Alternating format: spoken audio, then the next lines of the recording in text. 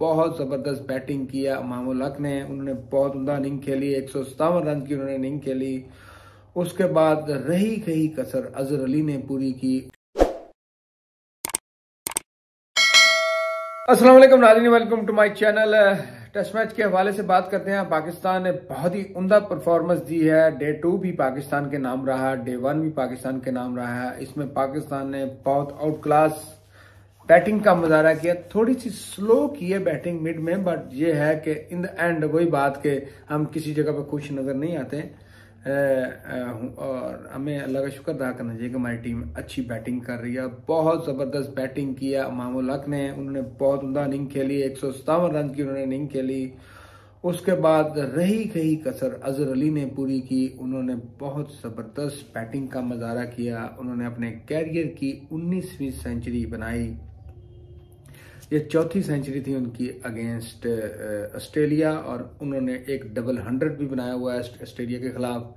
अगर ये आज डबल हंड्रेड बना लेते तो शायद ये दूसरा उनका सौ होता, बट ये है कि बहुत ज़बरदस्त उन्होंने एक सौ पचासी रन की इनिंग खेली, बहुत ही मज़ेदार बैटिंग की, टाइम लिया, जो भी बैट्समैन आया तहमल मिजाजी के साथ खेला और ऑस्ट्रेलिया को पता चल गया है कि अब एशिया पिचेस पे मैच खेलना है।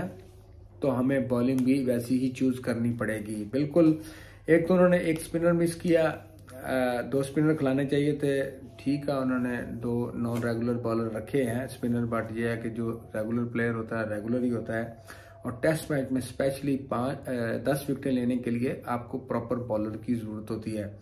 आई नो कि ऑस्ट्रेलिया की बॉलिंग लाइन काफ़ी अच्छी है फास्ट बॉलिंग काफ़ी अच्छी है। नेथन लाइन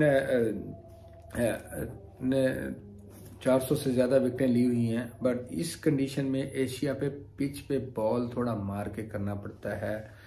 और स्पेशली एशिया में दुबई ये पिंडी की जो विकेट थोड़ी स्लो थी पैचेस काफ़ी बने हैं बट यही है कि अब पाकिस्तान ने स्कोर तो पहाड़ जैसा खड़ा कर लिया है। अब देखते हैं पाकिस्तान की बॉलिंग कैसा रिज़ल्ट प्रोड्यूस करती है पाकिस्तान के पास। दो रेगुलर फास्ट बॉलर हैं, दो रेगुलर स्पिनर खेल रहे हैं। और दोनों अच्छे परफॉर्मर लास्ट फ्यू मैचेस में उन्होंने अच्छी परफॉर्मेंस दिया है। अब स्पिनर का रोल तो बहुत अच्छा लग रहा है, क्योंकि फास्ट बॉलर का बॉल इतना अच्छा स्लो है। आज ऑस्ट्रेलिया ने स्टार्ट में बाउंसर मार के काफ़ी कोशिश की आउट करने की, मगर वही बात के बाउंसर वही अच्छा होता जब तेज़ लगे पड़ के थोड़ा स्लो आ रहा था, आराम से टक हो रहा था, छोड़ा जा रहा था। बट यह है कि मैं तारीफ़ तो अपने प्लेयर की करूँगा कि जिस तरह से बैटिंग किया अजहर अली और इमामुल हक ने इससे पहले अब्दुल्ला शफीक ने बड़ी उमदा बैटिंग की है सारे बैट्समैन अच्छा खेले हैं बाबर आज़म हैं, उसके बाद रिजवान ने अच्छी बैटिंग किया है इसके बाद इफ्तार आए हैं, दोनों नट आउट रहे हैं।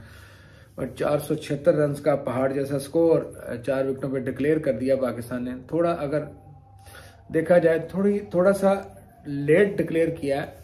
क्योंकि इनको एक डेढ़ घंटा देते थके हुए थे एंड पे दो तीन विकटें मिल जाती। तो शायद पाकिस्तान के लिए बहुत अच्छा होता मगर ये है कि देर आए दुरुस्त आए वाला साहब है। और पाकिस्तान ने बहुत अच्छा खेला है। ऑस्ट्रेलिया की बॉलिंग की बात करें तो एक साइड पे उन्होंने बॉलिंग नहीं की। उन्होंने कोशिश की आउट करने की प्रेशर डाला है पाकिस्तान को मगर आ, किसी भी जगह पे वो कामयाब होते नज़र नहीं आए। वही बात के पाकिस्तान के, अब दो स्पिनर है, ऑस्ट्रेलिया ने एक स्पिनर खिलाया, स्पिनर ऑलरेडी कम था, अब पाकिस्तान के जो स्पिनर है, साजिद खान, अब उसको देखना है वो कैसा रोल अदा करते हैं दो तीन उनके लेफ़्ट हैंडर बैट्समैन भी है, और उसके अलावा हमारे नुमान हैं विकेट टू विकेट बॉल करते हैं, उनकी विकेट उनके लिए खासा इम्तहान होगा बॉल को थोड़ा पुश करना पड़ेगा, क्योंकि स्लो पिच है टाइम मिल जाता है बैट्समैन हिट लगाने के लिए तो थोड़ा सा बॉल को पुश करके करेंगे तो मुझे उम्मीद है कि हमारे स्पिनर कामयाब हो गए और हमें इनको क्योंकि दो दिन तो हमने निकाल दिए हैं और अगर इसको जल्दी आउट करते हैं देन हमें बैटिंग दोबारा मिलेगी अदरवाइज़ हमें फॉलो ऑन करना पड़ेगा इनको और मैच के लिए हमारा गोल्डन चांस है ये टेस्ट मैच जीतने का। बेस्ट विशेष है पाकिस्तान टीम के लिए।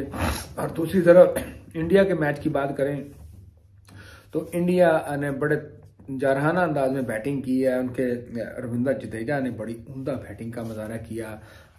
ऋषभ पंत ने बहुत आला बैटिंग की। उन्होंने 96 की इनिंग खेली और रविंद्र जडेजा ने 175 की। ऐश्वन ने भी रही खही कसर पूरी की, उनकी 61 रन वो भी रहे। और उन्होंने पाँच सौ अठहत्तर रन आठ डिक्लेयर पे। अभी उनका भी डेट वो था, पाकिस्तान का भी डेट तो पाकिस्तान ने चार सौ पचहत्तर रन उन्होंने पाँच सौ अठहत्तर रन सौ से ज़्यादा रन उन्होंने बनाए हैं। प्लस इतना टाइम श्रीलंका को मिला है कि उन्होंने चार आउट भी उनके हो गए और 108 रन बनाया। तो इंडिया की इकॉनमी पर ओवर एवरेज उन्होंने 4.43 की एवरेज से उन्होंने बैटिंग की लाइक ओडीआई की तरह उन्होंने खेला है। बहुत उमदा बैटिंग की, बहुत अच्छी परफॉर्मेंस दी। बॉलिंग की बात आई तो ऐशवन ने दो विकेट लिए हैं। वो ऐशवन तो आपको पता है इंडिया में बड़ा स्ट्रांग वो बॉलिंग उनकी यूनिट है।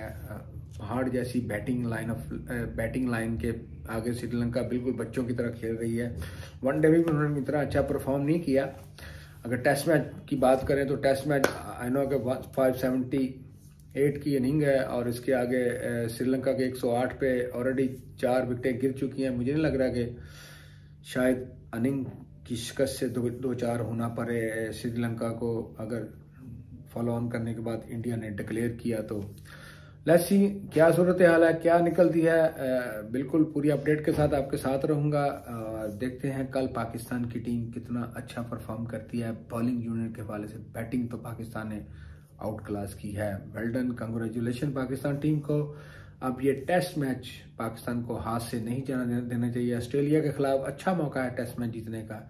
सी यू कल मिलते हैं, देखते क्या होता है।